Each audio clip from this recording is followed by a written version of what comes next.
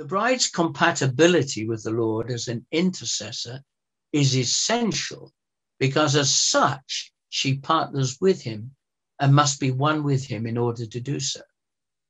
She is authorized, like Esther, to enter the courts of the king, the courts of heaven, and in the presence of Jesus, the eternal advocate, petition the king, who is the judge of all men and our heavenly father.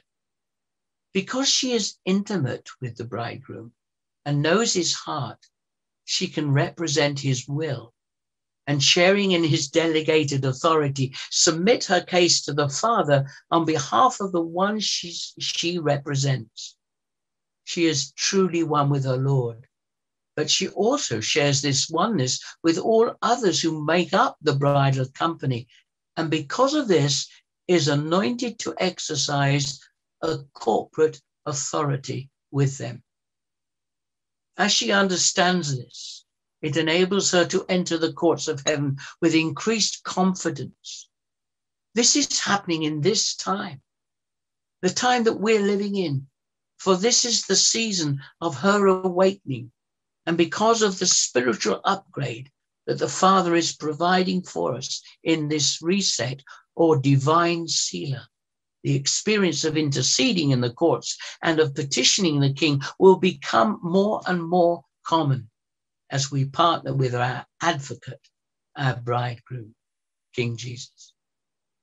However, let me say again that our privilege to intercede like this and accept such bridal assignments from the King is based not upon our ability, but purely upon our relationship with Him, upon who we are and whose we are. We, the church bride, can even now, though still in our pre raptured and pre glorified state, experience the bridal authority in preparation for the days to come. We can accept this spiritual upgrade, not because of who we are in our own righteousness, but because of his grace.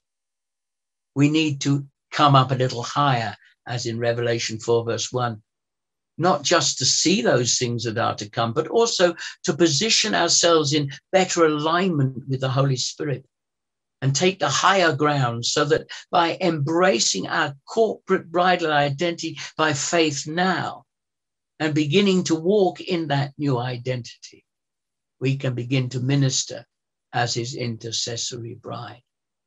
As we do so, we will experience more of that authority which we will be fully understood when we become completely one with him at the marriage of the Lamb.